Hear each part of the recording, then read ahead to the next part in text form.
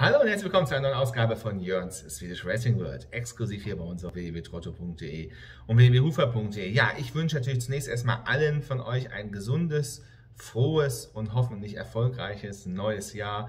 2022 wird hoffentlich für uns alle sehr, sehr viel Spaß bringen, was den Rennsport angeht den Rennsport aus Schweden natürlich vor allen Dingen. Und ich hoffe natürlich, dass wir das ein oder Mal gemeinsam auch mit unserer www.trotto.de Tippgemeinschaft erfolgreich sein werden. Deswegen schaut regelmäßig auch 2022 bei www.trotto.de und www.hufold.de rein. Dort gibt es nicht nur die neuesten Informationen, es gibt auch die einzig wahren Tippgemeinschaften in Deutschland. Es gibt auch bei anderen Anbietern Tippgemeinschaften, aber das sind hier die einzig wahren Tippgemeinschaften bei uns auf www.trotto.de, wo nämlich ihr aus dem Forum mitbestimmen könnt. Ihr könnt Kapitän sein. Und ich hoffe einfach natürlich, dass 2022 für uns alle ein gutes Jahr werden wird. Und deswegen sage ich erstmal Hallo, herzlich willkommen 2022 und auf geht's in die V75 nach Bollnäs. Wir fahren nach Bollnäs, ein Ort ungefähr 300 Kilometer nordwestlich von Stockholm gelegen, auf die dortige Rennbahn, die dortige Rennbahn, die unter anderem Heimat von Ulf Eriksson und Thomas Pettersson ist die auch hier im Einsatz sind natürlich heute. Und ähm, wir haben die erste V75 des Jahres. Es ist Samstag, der 1. Äh, Januar.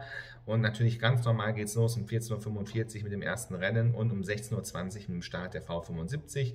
Ich möchte heute das Ganze ein bisschen schneller durchlaufen lassen, denn ich glaube, wir haben alle natürlich noch von gestern von Axel Waller, dass so die Rennen noch im Kopf. Und ich denke, dass diese V75 heute durchaus interessant ist. Und, ähm, aber ich möchte euch auch die Gelegenheit geben, dass ihr euch selber ein kleines Bild machen könnt. Deswegen ganz schnell durch die Rennen, eine etwas kürzere Version heute von Jörns, Jörns, Jörns Swedish Racing World. Und wir wollen dann mal schauen. V75.1, das ist die Class 1 über 2140 Meter Bänderstart. Und hier sollte eigentlich vieles auf die Nummer 4 Ossis Melody mit Erik Adizon hinauslaufen. Ossis Melody zuletzt siegreich in Rommel gewesen am 23.12. Davor auch in Zovalla schon mit Erik Adizon siegreich gewesen. Das Erik Adizon kennt auch Ossis Melody ähm, aus dem Stall von Erik Lindegren. Und deswegen denke ich, dass hier Ossis Melody durchaus gute Chancen haben sollte. Interessant ist für mich Nummer 6 Astrum mit Mika Force. Mika Force äh, fährt ein Pferd aus dem Stall von Antti Vettiläinen. Das ist ein Finne, der bringt das Pferd jetzt zurück, oder bringt es hier erstmals nach Schweden. Und dieser Astrum hat es jetzt in Vermo und in Rovaniemi im Rahmen des Ice Cups gewonnen. Das war ja so ein Rennen, was wirklich bei minus 20 Grad, wo ganz viele Topstars dabei waren, unter anderem auch Jos Verbeck, ähm, hat er dort ein Rennen gewonnen im Rahmen der dortigen V75 und ähm, zuletzt in Vermo in Helsinki nochmal erfolgreich gewesen. Und wenn Mika Force ein Pferd mit, von einem finnischen Trainer fährt, da muss man immer aufpassen. Also die Nummer 6 Astrum muss hier auf jeden Fall mit. Mit muss aber auch die Nummer 9 No Dope mit Emilia Leo mit drei Siegen aus fünf Starts, zuletzt erfolgreich gewesen. Und die 10 Madame of Jimp Myra mit Thomas Pettersson, zuletzt dritter Platz in Zovalla, davor zwei Siege in Bollnäs auf der heutigen Bahn. Also ich glaube, diese Madame of Jimpura, die, von der wir noch einiges hören, die muss auf jeden Fall auch mit. V75.1, die Class 1, wir nehmen mit die Nummer 4 Ossis Melody, die Nummer 6 Astrum, die Nummer 9 No Doubt und die 10 Madame of Jimp Mura. Ure, die Programm 5, hat hier tolle Formen stehen mit Mats Duse, die stammen aber aus dem Reiten. Und da habe ich doch so ein bisschen meine Zweifel, ob das Pferd äh, im, vor dem Sulki genauso gut ist wie beim Montieren. V75-2, das ist die Kaltblutsdivision. Das ist also die STL Kaltblutsdivision für die Kaltblüter. Es geht aus zwei Bändern. Die Pferde 1 bis 4 von der Grunddistanz 2140 Meter, die Pferde 5 bis 9 aus, den, aus der Distanz von 2160 Meter. Und ich gehe hier ganz klar mit der Programmnummer 8 Don Viking und Mats Duse. Don Viking zuletzt äh, viert- und zweitplatziert mit äh, Mats Duse in Berserker. Davor gab es jedoch in äh, Skellefteå am 15.10. einen Sieg und auch einen Sieg im Reiten in Romme am äh, 19.11. Dieser Don Viking, der kann einiges. Das ist ein tolles Pferd, der ist schon 13 Jahre alt, hat aber einige tolle Schlachten schon geschlagen. Also Don Viking, die Programm Nummer 8, muss man hier auf jeden Fall mitnehmen. Aber auch die 7, Alfie mit Rikard Skoglund. Alfie zuletzt viert platziert in, äh, in, in Bollnäs gewesen, davor aber mit Rikard Skoglund am 30.11. siegreich. Das heißt also Rikard Skoglund und die Bahn in Bollnäs kennt hier Alfie sehr, sehr gut, muss hier auf jeden Fall mitgenommen werden. Philipp S., die Programm Nummer 6, muss natürlich auch mitgenommen werden. Er hat sich immer mit dem Besten herumgeschlagen, war teilweise dritt- und viertplatziert, hat im Oktober sogar einmal den haushohen Favoriten geschlagen. Damals, das war eine richtige Sensation, wie er aus dem Rücken äh, da noch angeschossen kam und den haushohen Favoriten in Zawada weggehauen hat. Also dieser Philipp S., die Programmnummer 6 mit Erik Alsson aus dem Stall von Östen Thompson, muss hier auf jeden Fall mit. Und die Nummer 9, Björns Frey mit Jorma Contio, muss man auf jeden Fall auch beachten. Auch wenn er die letzten drei Male nur zweit- und drittplatziert war, bei einem guten Rennen kann hier die Nummer 9 auf jeden Fall gewinnen. V75 6 Kaltblutdivision. Wir nehmen mit die Nummer 6 Philipp S., die 7 Alfie, die 8 Don Viking und die 9 Björns Frey. V75 3, das ist die Class 2 über 2640 Meter Autostart. Und hier habe ich richtig Mumm auf die 2 Global Classified mit Matthias Duse.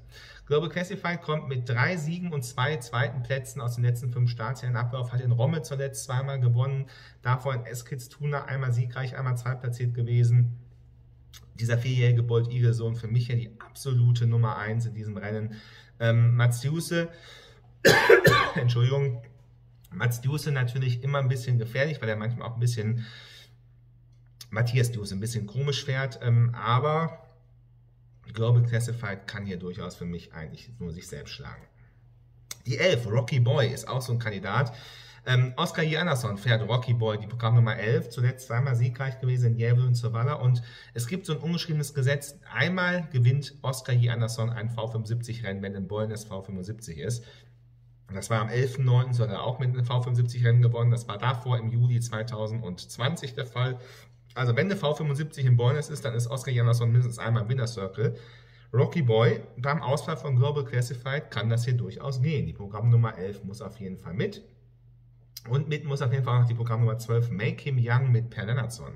Make Him Young, zuletzt zweimal siegreich in Somalia und in Eskilstuna gewesen, hat sich da riesig verkauft. Startplatz 12 über die lange Distanz muss jetzt hier kein Nachteil sein. Und deswegen sage ich auch die Programmnummer 12 Make Him Young hier mitnehmen. V75 3, das ist die STL Class 2 äh, Divisionsvor der Divisionsvorlauf. Wir nehmen mit die Programm Nummer 2 Global Classified, die 11 Rocket Boy und die 12 Make Him Young. V75 4. Das ist äh, ein äh, Stutenlauf, ein kein Divisionslauf, sondern einfach ein klassischer Stutenlauf für die Kaltblüterinnen. Das heißt, wir haben jetzt hier klassisches Kaltblutrennen, Stutenrennen, gestartet aus drei Bändern, die Pferde 1 bis 5 von der Grunddistanz, über 2140 Meter, die Pferde 6 bis 10, 2160 Meter und die Pferde 11 bis 15, 2180 Meter. Und ich habe hier richtig Mumm auf die vier Rote Lin mit Mats Duse. Rote Lin ist zwar auch keine Siegerin, sie hat jetzt ein ganz paar Mal tolle Platzierungen geholt, zweimal zweitplatziert in Mats Duse und mit Christian Söderholm in Umeå und in Sundsvall. Ähm, sie steht jetzt hier sehr günstig im ersten Band, also wenn die vorne gut wegkommt, ist hier Rote Lin für mich ganz eindeutig eine Siegkandidatin. Aber auch Rönningsgutten, die Programm 6 mit Thomas Pettersson, muss natürlich mit auf den Schein. Zuletzt mit Ove Alinquist in Umeå am 14.12. siegreich gewesen. Davor mit Thomas Pettersson in Gävle, auch ebenfalls erfolgreich gewesen. Ähm, dann nochmal zwei Siege mit Ove Lindquist, Ove Lindquist und Thomas Pettersson. Ähm, Rönningsgutten, hier die Stute, muss auf jeden Fall hier mit, auf jeden Fall auch mit auf den Schein.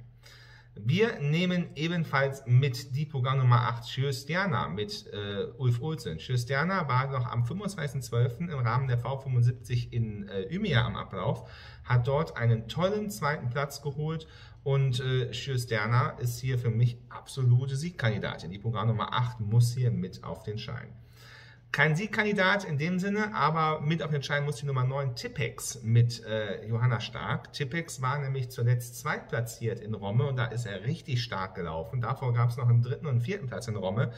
Ähm, er ist jetzt kein Siegkandidat, aber dieser Tippex hängt sich immer voll rein, war auch schon teilweise geschlagen und zog dann nochmal an. Also den sollte man zumindest mal so als Außenseiter mitnehmen. Und natürlich mitnehmen muss man auch die Programmnummer 13 Buska Glück mit Robert Berg.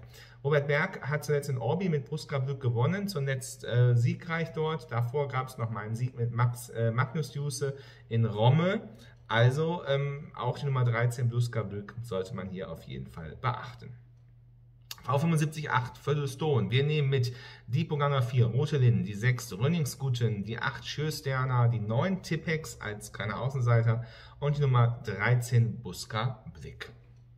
V75-4, das ist die Silberdivision über, 2000, über 1640 Meter. Und hier habe ich eigentlich nur zwei Pferde, die in Frage kommen, oder eigentlich drei Pferde, wenn man so möchte.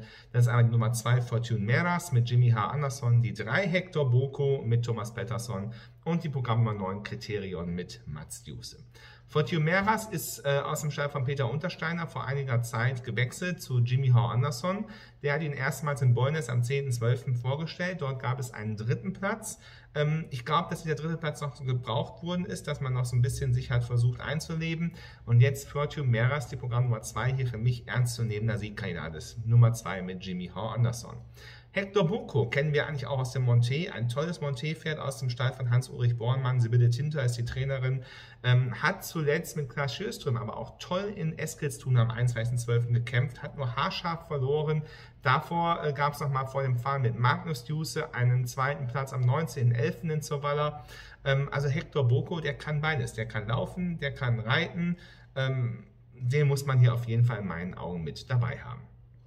Kriterion, die Programm Nummer 9, hat zuletzt in Jäble am 19.12. gut gewonnen aus dem Stall von Frederik Wallin, für den es jetzt auch absolut super läuft gerade. Ich sage nur Sayonara in Paris-Vassin, zwei tolle Leistungen abgeliefert und äh, Frederik Wallin ist immer gefährlich mit Mats Duse, diese Kombi. Kriterion zuletzt hat er mal wieder gewonnen nach langer Zeit. Ob das heute nochmal klappt, weiß ich nicht, aber mitnehmen sollte man ihn auf jeden Fall die Programmnummer 9.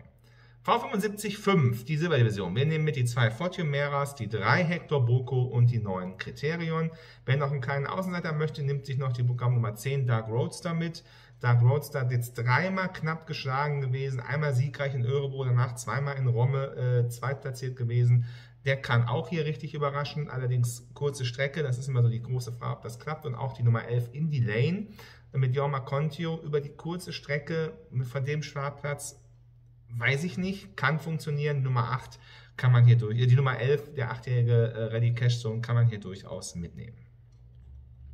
V75-6, das ist die Diamant-Story-Abteilung und hier schlägt natürlich unser Herz für Green Mamba, die Programm Nummer 14 mit Perdonazon. Green Mamba, die deutsch gezogene Stute, ähm, zuletzt mit Perdonazon siegreich gewesen am 10.12. in Sorvalla. Danach gab es mit Erik Alizon im Rahmen der V75 einen dritten Platz, das war ein bisschen enttäuschend. Heute hat hier Green Mamba in meinen Augen wieder richtig gute Chancen vorne dabei zu sein. Die Programm Nummer 14 Green Mamba muss hier mit auf den Schein. Die 15 Bowling Elmar mit Daniel Weierstein muss natürlich auch mit auf den Schein. Zuletzt in Östersund mit Mats Duse siegreich gewesen.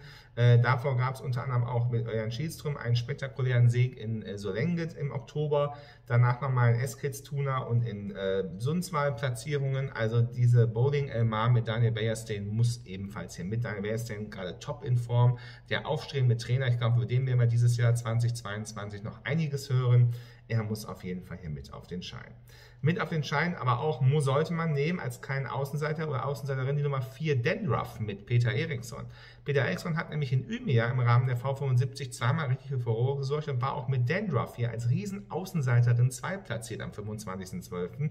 Davor gab es in Bollnäs schon mal einen zweiten Platz über die kurze Distanz.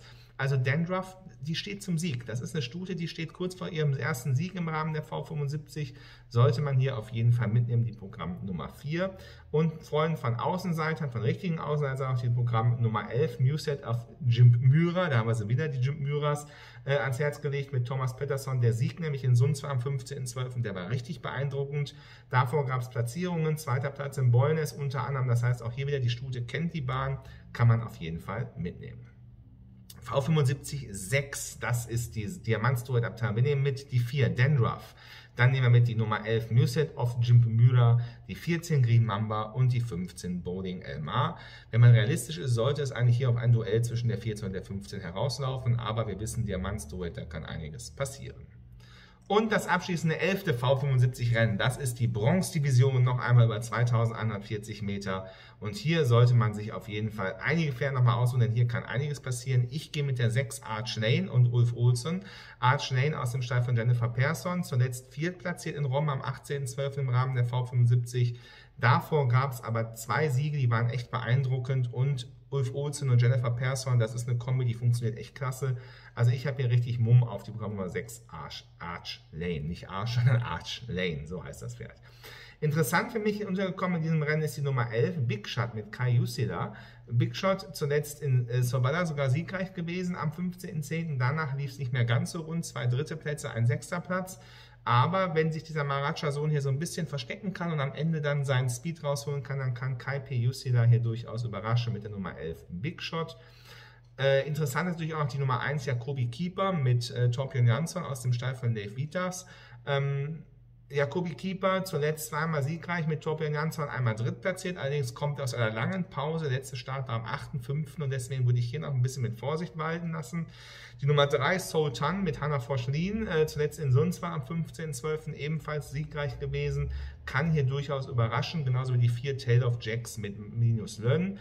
Äh, Tail of Jacks in Bollness am 30.11. siegreich gewesen, danach gab es nur einen sechsten Platz in Romme, aber ich glaube, dieser Tail of Jacks, der kann ja ebenfalls durchaus überraschen. V75 7, die Bronze-Division. Wir nehmen mit die Nummer 1 Jacobi Keeper, wobei er aus der Pause kommt, muss man gucken. Die 3 Sultan, die 4 Tail of Jacks, die 6 Arch Lane, mein Pferd und mein Sieger in diesem Rennen. Die Nummer 12 Dollar Doc und mit Jürgen SS Eriksson, habe ich gerade vergessen, sollte man jeden Fall auch noch mitnehmen. Und die 11 Big Shot mit Kai Piusila.